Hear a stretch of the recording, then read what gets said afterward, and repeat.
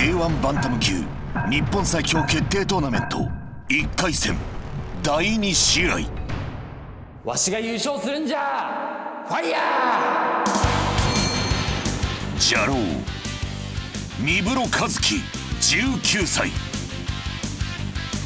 高校1年生でプロデビューし地元福岡をベースにキャリアを積んできた三室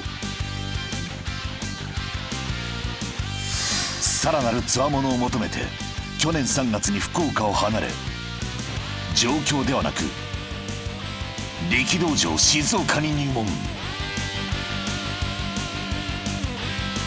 ここから男は己の道を突き進む。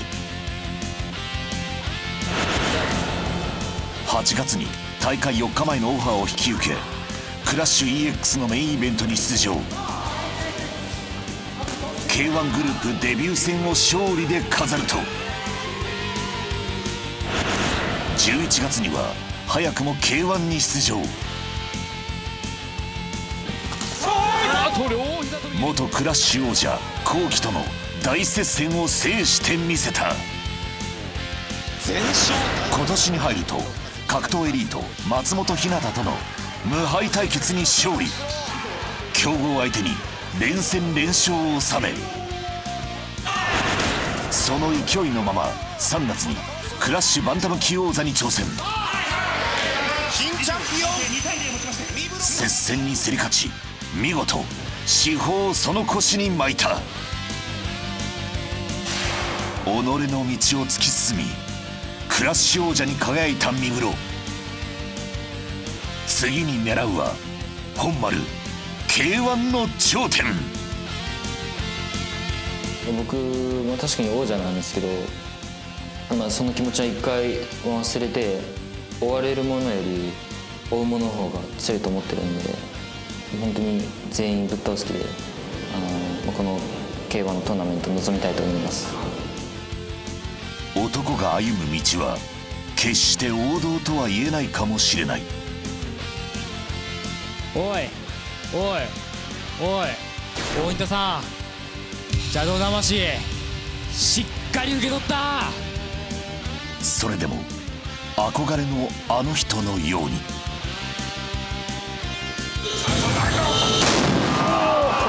どんな強大な相手にも己の生き方を曲げずに立ち向かってみせる。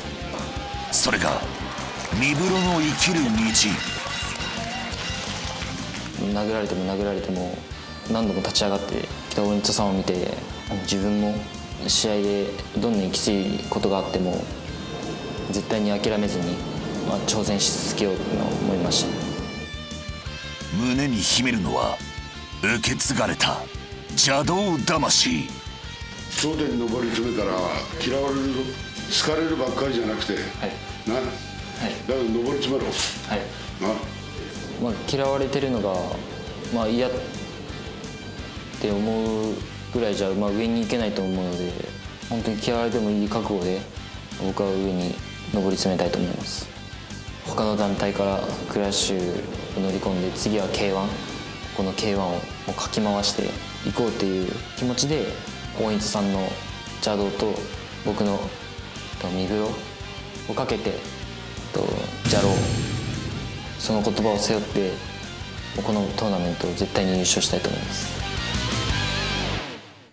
一番最初に一番強いのとやれて、まあ、めちゃくちゃラッキーだなと思いました。伊田天ボーイ野田葵18歳。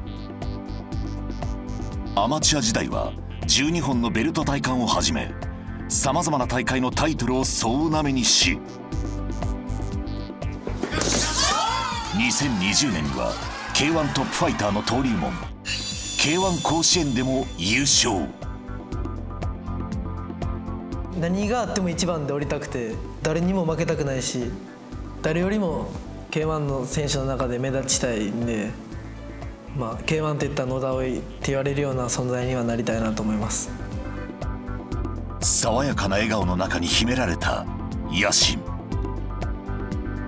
ナンバーワンを狙う格闘エリートに早くもチャンスが到来した。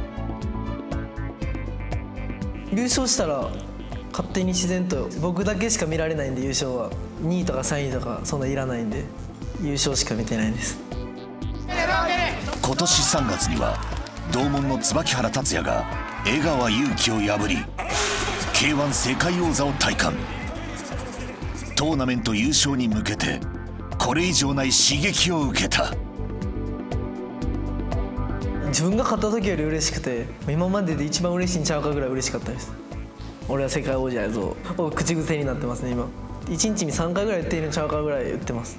すぐ追いつきたいですね。三室と野田。2人は2018年の k 1甲子園で対戦。前蹴りを有効的に使った野田に軍配が上がっている。あれから3年。戦いの舞台を k 1に移し再び両者が相まみえる。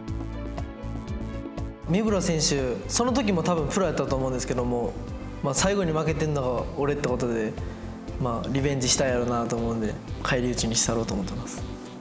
確かにリベンジ戦にはなるんですけど本当に今の僕も全然変わってるし野田選手もあの頃と比べたら全然強くなってると思うんで、まあ、いい試合をしてで絶対に僕は勝ちたいと思います。おいおいおい。このトーナメントこのわしが邪道魂を胸に絶対に優勝するからみんなぜひ見に来てくれ。ファイヤー！K1 バンタム級日本最強決定トーナメント1回戦。第2試合三室和樹 VS 野田葵